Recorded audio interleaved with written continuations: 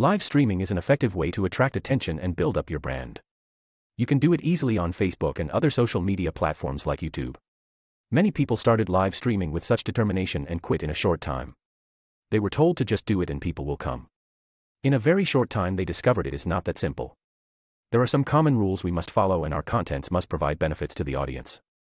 Instead of figuring out the pitfalls and common mistakes others made, would you like to have a step by step guide to start doing live streaming with results?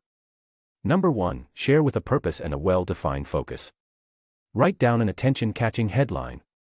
Number 2, keep it short and to the point. Number 3, define who is your audience and why they are important to you. Number 4, write down what your audience will be most likely interested in your headline. Number 5, produce a simple script based on the first four items.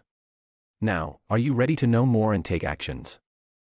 Instead of talking more, I will play a few videos I prepared for you.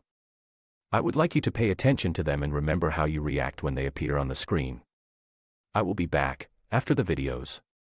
Oh, by the way, you can use different languages when you live stream.